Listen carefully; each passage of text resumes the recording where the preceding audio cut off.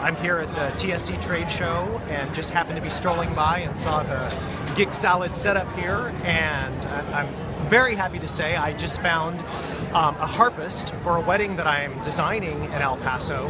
And uh, I needed something very specific and found exactly what I needed through Gig Salad. And was talking to the guys here and just wanted to take a moment and say how much I appreciate uh, the services that they're providing and how great it's been working with the Gig Salad and we're, we're so happy to you know be a part of the community that's getting to know what they're doing.